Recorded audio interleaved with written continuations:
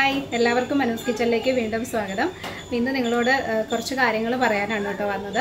എന്റെ കുറച്ച് ദിവസമായിട്ട് എനിക്ക് കുറേ പേര് ചോദിക്കുന്ന ഒരു കാര്യമാണ്. ക്യു ആൻഡ് വീഡിയോ എവിടെ പോയി എന്താ ചെയ്യാത്തതെന്ന് കേട്ടോ. ഞാനൊരു രണ്ട് മൂന്നാഴ്ചയായെന്ന് തോന്നുന്നു ഒരു ക്യു ആൻഡ് സെഷൻ ചെയ്യാൻ പോവാണ്. അപ്പോൾ ക്വസ്റ്റ്യൻസ് പറയാനൊക്കെ പറഞ്ഞ് കമ്മ്യൂണിറ്റി ടാബിൽ പോസ്റ്റ് ഇട്ടിട്ടുണ്ടായിരുന്നു. ഒരുപാട് ക്വസ്റ്റ്യൻസും വന്നിട്ടുണ്ടായിരുന്നു. പക്ഷെ ഞാൻ ചെയ്യാത്തത് എന്റെ മൈക്രോഫോൺ കേടായിപ്പോയി. അപ്പോൾ അത് ഞാൻ ആമസോണിൽ ഓർഡർ ചെയ്തിട്ടുണ്ടായിരുന്നു. ഇപ്പോൾ ഈ കൊറോണ പ്രോബ്ലംസ് ഒക്കെ കാരണം ഡെലിവറി എല്ലാം ലേറ്റാണ് ഇതുവരെ സാധനം കിട്ടിയില്ല. ഇനിയിപ്പോൾ എന്തായാലും കുറച്ചും കൂടി ലേറ്റ് ആവാൻ ചാൻസ് ഉണ്ട്. കാരണം ട്രിവാൻഡ്രത്ത് ട്രിപ്പിൾ ലോക്ക്ഡൗൺ ആണ്. അപ്പോൾ നമുക്ക് വീടിന് പുറത്തേക്ക് ഇറങ്ങാൻ പറ്റില്ല. ഇങ്ങനത്തെ ഒരു ഡെലിവറി ഒന്നും തന്നെ ഇല്ല. അത്യാവശ്യ സാധനങ്ങൾ പോലും പോലീസിനോട് വിളിച്ച് പറഞ്ഞാൽ അവർ കൊണ്ടുതരുമെന്നൊക്കെയാണ് പറഞ്ഞിരിക്കുന്നത് അപ്പോൾ അതുകൊണ്ട് എന്തായാലും ഇങ്ങനെ ഈ എനിക്ക് തോന്നുന്നു ആമസോൺ ഡെലിവറി ഒക്കെ ഇനിയിപ്പോൾ അതൊക്കെ കഴിഞ്ഞേ ഉണ്ടാവുള്ളൂ. ഈ ഒരാഴ്ച കഴിയുമ്പോൾ ഇനി വീണ്ടും ഈ ലോക്ക്ഡൗൺ ഒക്കെ എക്സ്റ്റെൻഡ് ആവുമോ ഇല്ലയോ ഒന്നും അറിയില്ല. അപ്പോൾ എന്തായാലും അത് കഴിഞ്ഞ് ചെയ്യാനാണ് ഞാൻ പ്ലാൻ ചെയ്യുന്നത്. കാരണം മൈക്രോഫോൺ ഇല്ലാതെ സംസാരിച്ചാൽ ചിലപ്പോൾ നിങ്ങൾക്ക് നേരെ കേൾക്കാൻ പറ്റില്ല. അതുകൊണ്ടാണ് കേട്ടോ. സൗണ്ട് കുറവായിരിക്കും. അപ്പോൾ ഈ വീഡിയോ ഞാൻ മൈക്രോഫോൺ ഇല്ലാതെയാണ് പറയുന്നത് അപ്പോൾ നിങ്ങൾക്ക് കേൾക്കാൻ കുഴപ്പമുണ്ടോ ഇല്ലയെന്നുള്ളത് ജസ്റ്റ് ഒന്ന് കമന്റ് ചെയ്യാൻ ചെയ്യണേ.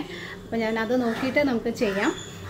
പിന്നെ അതുപോലെ അപ്പോൾ ഞാൻ ഞായറാഴ്ചയുടെ അന്ന് വെഡിങ് ആനിവേഴ്സറിയുടെ ഒരു പോസ്റ്റ് ഇട്ടിട്ടുണ്ടായിരുന്നു കമ്മ്യൂണിറ്റി ടാബിൽ അപ്പോൾ ഒരുപാട് പേര് വെഡിങ് ആനിവേഴ്സറി സ്പെഷ്യൽ വ്ലോഗ് ചെയ്യണം എന്നൊക്കെ പറഞ്ഞ് കമന്റ് ചെയ്തിട്ടുണ്ടായിരുന്നു മെസ്സേജൊക്കെ ചെയ്തിട്ടുണ്ടായിരുന്നു. പക്ഷെ അങ്ങനെ ആനിവേഴ്സറി ഒന്നും നമ്മളങ്ങനെ സെലിബ്രേറ്റ് ചെയ്യാറില്ല കേട്ടോ. അങ്ങനെ ഒരു ശീലമില്ല. ജസ്റ്റ് ചിലപ്പോൾ ഇടയ്ക്കൊക്കെ നമ്മൾ പുറത്ത് എവിടെയെങ്കിലും പോകും. അതായത് അടുത്തുള്ള റിസോർട്ടുകളിലോ അങ്ങനെ എന്തെങ്കിലും പോകും. എല്ലാ വർഷമല്ല ഇടയ്ക്ക് അല്ലെങ്കിൽ പുറത്ത് പോയി ഭക്ഷണം കഴിക്കും. ഇതൊക്കെയാണ് സാധാരണ ചെയ്യാറുള്ളത്. പക്ഷേ ഈ വർഷം ഇത് രണ്ടും നടക്കില്ലല്ലോ നമ്മൾ വീട്ടിൽ തന്നെയാണ് കൊറോണ കാരണം. അപ്പോൾ ഞാനതുകൊണ്ട് പ്ലാൻ ചെയ്തിരുന്നത് ഒരു ചെറിയ കേക്ക് ഉണ്ടാക്കാം എന്നായിരുന്നു. ഞായറാഴ്ച രാത്രി ഉണ്ടാക്കാമെന്നൊക്കെയാണ് വിചാരിച്ചിരുന്നത് പക്ഷെ അപ്പോഴാണ് ഇവിടെ ട്രിപ്പിൾ ലോക്ക്ഡൗൺ വന്നത്. അപ്പോൾ അതുകൊണ്ട് ഞാൻ കേക്കിന്റെ പ്ലാനും ഡ്രോപ്പ് ചെയ്തു. കാരണം പാലും മുട്ടയൊക്കെ വേണമല്ലോ. അപ്പോൾ അതൊക്കെ എടുത്ത് നമ്മൾ കേക്കൊക്കെ ഉണ്ടാക്കി കഴിഞ്ഞാൽ പിന്നെ ആവശ്യങ്ങൾക്ക് കാണില്ല. അപ്പോൾ ആ കേക്കിന്റെ വീഡിയോ ഞാൻ ആനിവേഴ്സറി സ്പെഷ്യലായിട്ട് ചെറിയൊരു വ്ലോഗ് പോലെ ചെയ്യണമെന്ന് വിചാരിച്ചിരുന്നു. അപ്പോൾ ഇപ്പോൾ അതും ചെയ്യാൻ പറ്റിയില്ല. അപ്പോൾ എന്തായാലും ഈ വീഡിയോയിൽ ഞാൻ കുറച്ച് ഫോട്ടോസാണ് ഇൻക്ലൂഡ് ചെയ്തിട്ടുള്ളത്. ഒരുപാട് പേര് ചോദിക്കാറുള്ളതാണ് വെഡ്ഡിങ് ഫോട്ടോസും അല്ലാത്ത കുറച്ച് ഫോട്ടോസൊക്കെ കാണിക്കാവുന്ന. അപ്പോൾ ഈ- വീഡിയോയിൽ ഞാനത് കുറച്ചൊക്കെ ഇൻക്ലൂഡ് ചെയ്തിട്ടുണ്ട്. അപ്പോൾ അത് കാണാൻ ഇഷ്ടമുള്ളവർ കണ്ടാൽ മതി. എല്ലാവർക്കും ഒന്നും വലിയ താല്പര്യമുള്ള കാര്യമായിരിക്കില്ല എന്നറിയാം അപ്പോൾ ഇഷ്ടമുള്ളവർ കാണും കേട്ടോ. പിന്നെ അതുപോലെ ഈ ആഴ്ച ഇനിയിപ്പം എങ്ങനെയാണ് റെസിപ്പീസൊക്കെ ചെയ്യാൻ പറ്റുന്നതെന്ന് എനിക്കറിയില്ല. കാരണം ഞാൻ പറഞ്ഞല്ലോ സാധനങ്ങളൊക്കെ കുറവാണ്. അപ്പോൾ അതൊക്കെ വെച്ച് അഡ്ജസ്റ്റ് ചെയ്ത് ഒരാഴ്ച പോകണം അപ്പോൾ പറ്റുന്ന പോലെ വീഡിയോസ് ചെയ്യാം. ഇതുപോലെയുള്ള തട്ടിക്കൂട്ട് വീഡിയോസൊക്കെ ആയിരിക്കും ചിലപ്പോൾ നിങ്ങളെല്ലാവരും എന്റെ വീഡിയോസ് കാണുന്നുണ്ട് എന്നെ സപ്പോർട്ട് ചെയ്യുന്നുണ്ട്. അതിന് ഒരുപാട് താങ്ക്സ് അതുപോലെ വെഡിങ് ആനിവേഴ്സറിക്ക് എനിക്ക് മെസ്സേജ് ചെയ്ത കമന്റ് ചെയ്ത എല്ലാവർക്കും ഒത്തിരി താങ്ക്സ് കേട്ടോ. ഓക്കെ അപ്പോൾ നമുക്ക് വീണ്ടും കാണാം. ബൈ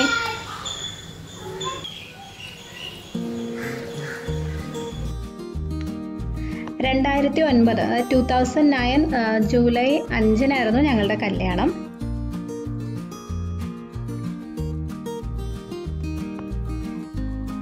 ഇതാണ് കേട്ടോ എന്റെ മദർ എല്ലോ ഹസ്ബൻഡ് അമ്മ. ഒരുപാട് പേര് ചോദിക്കാറുണ്ട്.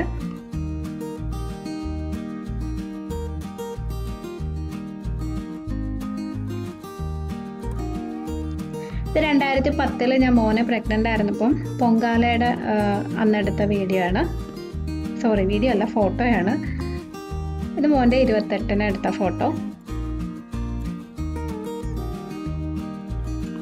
മോന്റെ ആദ്യത്തെ ബർത്ത്ഡേ ഒക്കെ നമ്മൾ നാട്ടിൽ ട്രിവാൻഡ്രത്ത് തന്നെയായിരുന്നു. അത് കഴിഞ്ഞപ്പോഴാണ് ഹസ്ബൻഡ് പിന്നെ ഓൺ സൈറ്റ് കിട്ടിയിട്ട് നമ്മൾ യു എസിലോട്ട് പോയത്. രണ്ടായിരത്തി പന്ത്രണ്ടിലായിരുന്നു കേട്ടോ ആദ്യം നമ്മൾ പോയത് വെർജീനിയ റിച്ച്മണ്ടിലായിരുന്നു നമ്മൾ ആദ്യം താമസിച്ചിരുന്ന അപ്പാർട്ട്മെന്റ് ആണേത് ഒരു കുഞ്ഞൊരു അപ്പാർട്ട്മെന്റ് ആയിരുന്നു കേട്ടോ പഴയതായിരുന്നു. പക്ഷേ എനിക്ക് ഒത്തിരി ഇഷ്ടമായിരുന്നു അവിടെ. കാരണം ഈ നേരെ കാണുന്നതാണ് നമ്മുടെ അപ്പാർട്ട്മെന്റ് അവിടെ നിന്ന് നോക്കുമ്പോഴേ ഇങ്ങനെ ഇതൊക്കെയാണ് കാണുന്നത് അപ്പോൾ നല്ല ഭംഗിയാണ്.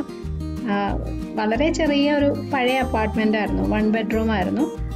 പക്ഷേ ഞാൻ പറഞ്ഞല്ലോ എനിക്ക് ഒരുപാട് ഇഷ്ടമായിരുന്നു അത് ആദ്യമായിട്ട് ഞാൻ കുക്ക് ചെയ്ത് തുടങ്ങിയതൊക്കെ ഇവിടെ ചെന്നിട്ടാണ്. കല്യാണം കഴിയുന്ന സമയത്ത് ഹസ്ബൻഡ് അമ്മ ഉണ്ടായിരുന്നു നമ്മുടെ കൂടെ. അപ്പം അമ്മ തന്നെയായിരുന്നു എല്ലാം കുക്കിംഗ് ഒക്കെ ചെയ്യുന്നത്. അപ്പോൾ ഞാൻ ആദ്യമായിട്ട് ഇവിടെ വെച്ചാണ് ചെയ്തു തുടങ്ങിയത്. ഒരു ചെറിയ കിച്ചണായിരുന്നു പക്ഷെ എനിക്കിപ്പോഴും ഒത്തിരി ഇഷ്ടമുള്ളൊരു കിച്ചണാണത് ഈ അപ്പാർട്ട്മെന്റിന്റെ മാത്രമേ ഫോട്ടോസൊക്കെ ഞാൻ എടുത്തു വെച്ചിട്ടുള്ളൂ. കാരണം എനിക്ക് അത്രയും ഇഷ്ടമായിരുന്നു അവിടെ. നമ്മളൊരു രണ്ട് വർഷമൊക്കെ നിന്നിട്ട് തിരിച്ചു വരണം എന്നൊക്കെ പ്ലാൻ ചെയ്താൽ പോയത് കാരണം ഞാൻ ബാങ്കിൽ നിന്ന് ലീവ് എടുത്തിട്ടാണ് പോയത് ആ സമയത്ത്.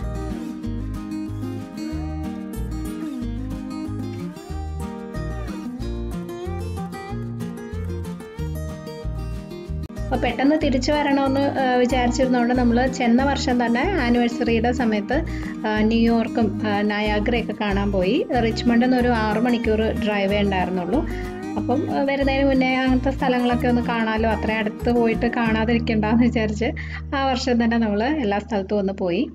കൂടെ നമ്മുടെ ഫ്രണ്ട്സും ഒക്കെ ഉണ്ടായിരുന്നു.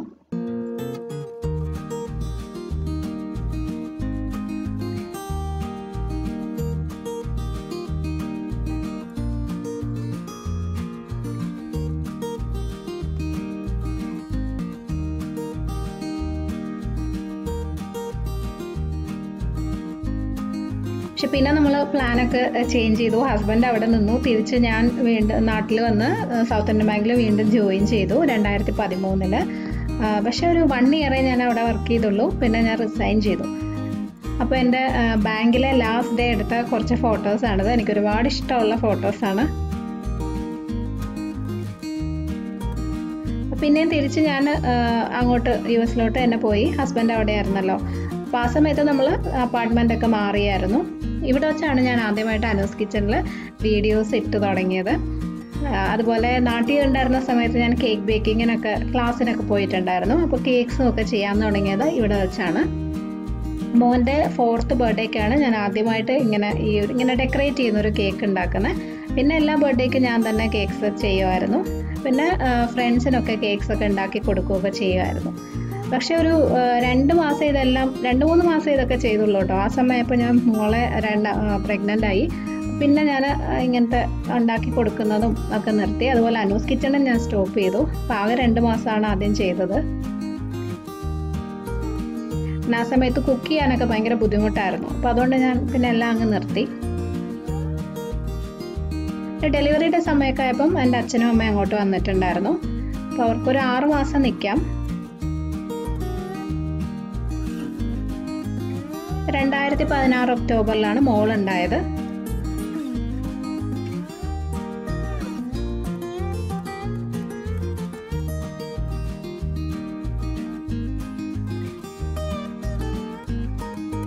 മോളുണ്ടായി കഴിഞ്ഞ് ഒരു രണ്ട് മാസമൊക്കെ കഴിഞ്ഞപ്പോഴാണ് ഞാൻ വീണ്ടും ന്യൂസ് കിച്ചണിൽ വീഡിയോസ് ചെയ്യാൻ തുടങ്ങിയത് കാരണം അന്ന് അമ്മ ഉണ്ടായിരുന്നല്ലോ അപ്പോൾ എനിക്ക് കുഴപ്പമില്ലായിരുന്നു. സഹായിക്കാനൊക്കെ അമ്മയുണ്ട്.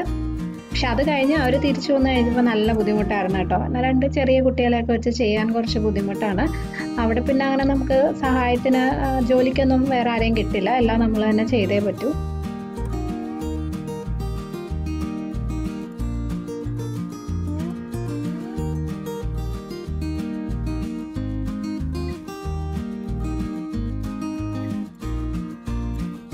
അച്ഛനും അമ്മയും തിരിച്ചങ്ങ് നാട്ടിൽ വന്നു കഴിഞ്ഞിട്ട് കുറച്ചൊരു രണ്ട് മൂന്ന് മാസം കഴിഞ്ഞപ്പോൾ പിന്നെ നമ്മൾ റിച്ച്മണ്ടിൽ നിന്ന് അറ്റ്ലാന്റയിലോട്ട് ഷിഫ്റ്റ് ചെയ്തു. ഹസ്ബൻഡ് പ്രോജക്റ്റ് മാറിയിട്ട് അറ്റ്ലാന്റയിൽ പോയി. അപ്പോൾ മോളുടെ ഫസ്റ്റ് ബർത്ത്ഡേ ഒക്കെ അവിടെയായിരുന്നു. അപ്പോൾ അവളുടെ ബർത്ത്ഡേ ഒരു വീക്ക് ഡേ ആയിരുന്നു. അപ്പോൾ ഞാൻ വീട്ടിലൊരു കുഞ്ഞ് കേക്ക് ഉണ്ടാക്കി. പിന്നെ നമ്മൾ ഒരു സൺഡേ നോക്കിയിട്ട് ഫ്രണ്ട്സിനെയൊക്കെ വിളിച്ച് ചെറിയൊരു പാർട്ടി പോലെ ഉണ്ടായിരുന്നു. അപ്പോൾ അതിന്റെയും കേക്ക് ഞാൻ തന്നെയാണ് ഉണ്ടാക്കിയത്.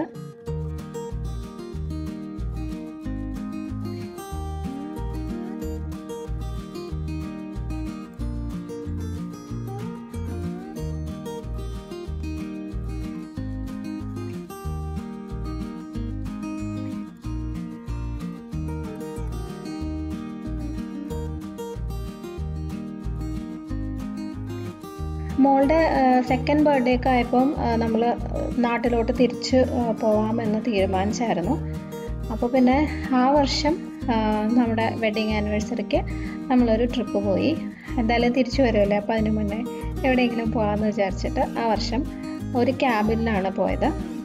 ക്യാബിൻ എന്ന് വെച്ചാൽ ഇതുപോലെ ഒരു ചെറിയൊരു വീട് പോലെയാണ് കേട്ടോ. നമ്മൾ മാത്രമേ ഉണ്ടാവുള്ളൂ അവിടെ. കുക്ക് ചെയ്യുന്നതൊക്കെ നമ്മൾ തന്നെ ചെയ്ത് കഴിക്കണം. അതുപോലെ കാണാൻ നല്ല ഭംഗിയുള്ള സ്ഥലത്തായിരിക്കും. അപ്പോൾ രണ്ട് മൂന്ന് ദിവസം നമുക്ക് അവിടെ സ്റ്റേ ചെയ്യാം. ശരിക്കും നല്ല ഭംഗിയുള്ള സ്ഥലമായിരുന്നു കേട്ടോ. എനിക്ക് ഞാൻ ഇതുവരെ പോയിട്ടുള്ളതിൽ വെച്ച് ഏറ്റവും കാണാൻ ഭംഗിയുള്ളൊരു സ്ഥലമായിരുന്നു. അപ്പോൾ അവിടെ നമ്മളൊരു രണ്ട് മൂന്ന് ദിവസം നിന്ന് നന്നായിട്ട് എൻജോയ് ചെയ്തു. പിന്നെയും നമുക്ക് പോകാൻ ഇഷ്ടം തോന്നുന്ന ഒരു സ്ഥലമാണ്. മോളുണ്ടായി കഴിഞ്ഞ് പിന്നെ നമ്മളങ്ങനെ അധികം യാത്രകളൊന്നും പോയിട്ടില്ല. അപ്പോൾ ഒരുപാട് രണ്ട് മൂന്ന് വർഷത്തിന് ശേഷം ഇങ്ങോട്ട് ഈ ക്യാബിനിലോട്ടായിരുന്നു നമ്മൾ പോയത്.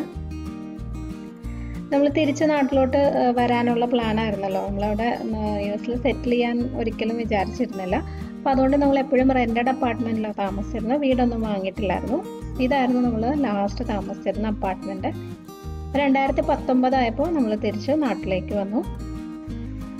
ആ വർഷം പിന്നെ നമ്മൾ വെഡിങ് ആനിവേഴ്സറി സമയത്ത് ഇവിടെ ട്രാൻഡത്ത് തന്നെ പൂവാറിലുള്ള ഒരു റിസോർട്ടിൽ പോയി. ഒരു ബീച്ച് റിസോർട്ടായിരുന്നു അപ്പോൾ രണ്ട് ദിവസം അവിടെ താമസിച്ചു കുട്ടികളൊക്കെ നന്നായിട്ട് എൻജോയ് ചെയ്തു. നല്ലൊരു റിസോർട്ടായിരുന്നു അപ്പോൾ അതിന്റെ വിശേഷങ്ങളൊക്കെ ഞാനൊരു വീഡിയോയിൽ ഷെയർ ചെയ്തിട്ടുണ്ട്. അപ്പോൾ ഇത്രയൊക്കെ ഉള്ളൂ. പിന്നെ ഞാൻ വ്ലോഗുകളൊക്കെ ചെയ്യുന്നുണ്ടായിരുന്നല്ലോ. അപ്പോൾ എല്ലാ വിശേഷങ്ങളും നിങ്ങൾക്ക് അറിയാവുന്നതേ ഉള്ളൂ. അപ്പോൾ ഇത്രയും നേരം ഞാൻ നിങ്ങളെ ബോറടിപ്പിച്ചില്ല എന്ന് വിചാരിക്കുന്നു. വീഡിയോ കണ്ട എല്ലാവർക്കും ഒത്തിരി താങ്ക്സ് കേട്ടോ. അപ്പോൾ നമുക്ക് അടുത്തൊരു വീഡിയോയിൽ വീണ്ടും കാണാം. Bye thank for watching